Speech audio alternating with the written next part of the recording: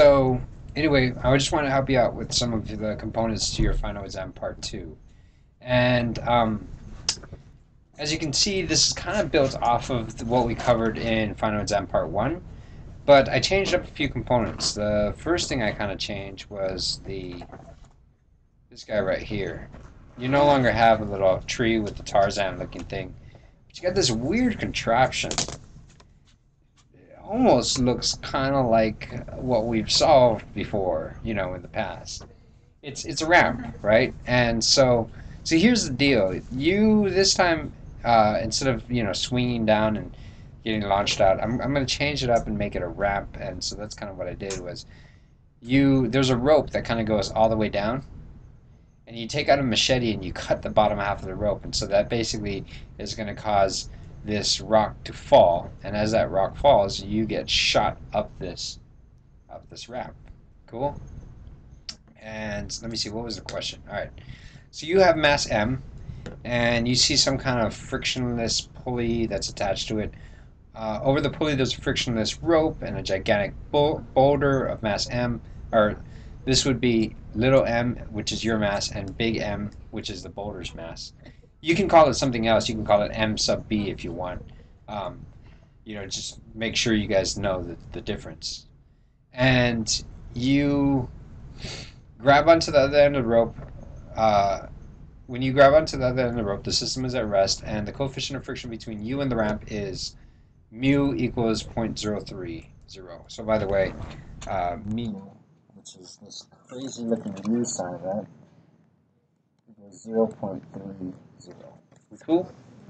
Alright, so, um, the question asks, draw a free body diagram for the boulder, draw a free body diagram of you, what is the tension of the rope, um, draw a picture of the snare and make sure you label all of the forces, all of that kind of stuff. So basically the way I do these final exams is I break it up into three parts and I say, all right, First level, level one, this is like average level. This is the achievement level. If you can achieve, if you can reach the achievement level, I'd be pleased. It would be like a C student, an average student can get can do these problems. You don't need as much math. Uh, you know, it's not going to be as in detail, but it's going to ask you a lot of questions conceptually. That's important. The second part is achievement with merit, and that basically says, all right, I can do most of the math. Not all of it, I can do most of it. So I would say that that would be like a B student.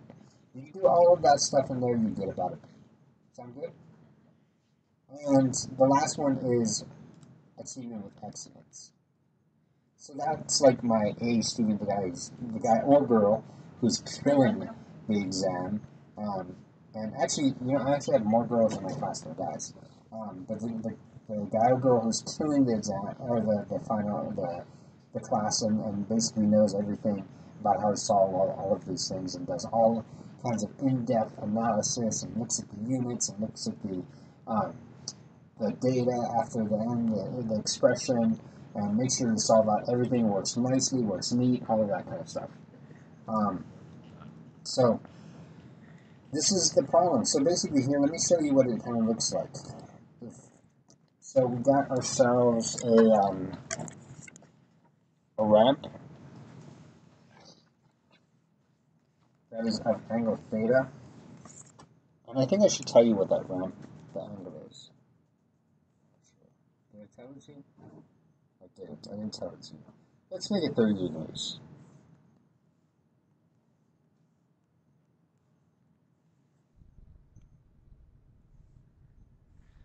Goes when you grab onto the master sword gigantic over ramp at an angle of 30 degrees uh, horizontal with a master's foot. Okay. And there's a pulley attached to the top. Sound cool? And over this pulley lies a rope that's massless the reason why I say it's a massless rope because if I said it was a, a, pulley that had friction in on it, or a pulley that has mass on it, or a rope that has mass on it, it becomes a calculus problem, and you actually have to take that into account in a big boy uh, or girl physics. But in this case, you know, since you guys are just learning it, I'm making it massless objects. Sound cool? And then what you do is you basically grab onto this rope. And then you want to fly up this ramp, so you cut the rope and then basically shoots you up there. Sound cool? Now, what kind of forces are we looking at on this on this thing? Let's, let's kind of get you started off with this problem. Force normal. Force normal, where's that?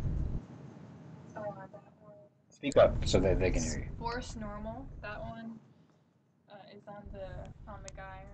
On the guy or the girl, Or the girl. because this is you, so I guess in this particular case it's a girl.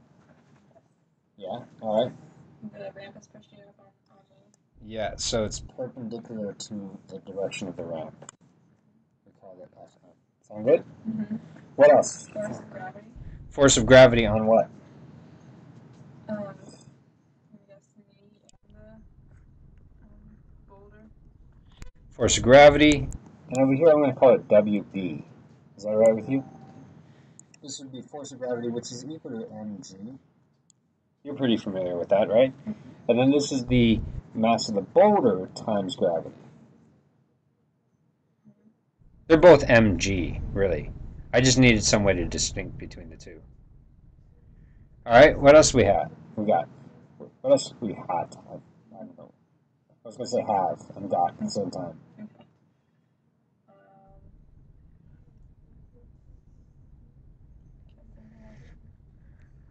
Um, oh yeah, I told you that the coefficient of friction equals 0.30. I mean, look at the picture. Does that look very fun to write up? Ow! Anyway, there's friction in between here and here. Um, the the you're right. I did say the pulley was frictionless, but I didn't say that the ramp was frictionless. So there's friction over here, which gives you a force of what? Force of friction. Which direction does that go in? uh, goes against me. So down, yeah. All right, and then what else do you got? There's two more forces that you're missing. Tension force. Good. Tension and tension. Cool. So, by the way, just to give you a heads up, you know, for this problem right here, what is the tension in the rope? Um, I'm going to ask you that question again in the advanced version. Uh, or when you.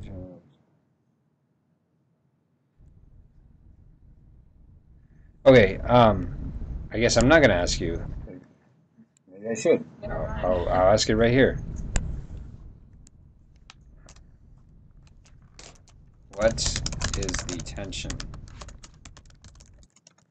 T in the rope during the motion? Um, okay, now for this first part, Alright, so give your answer in terms of the mass of the boulder and the acceleration, which you have to calculate. Or which um, you have yet to calculate. So you don't need to you're gonna have you're gonna give it to me and there's gonna be something that you don't know. You get it? So that's fine because that's the low level one. Alright? Now you should give it to me in everything that you do know.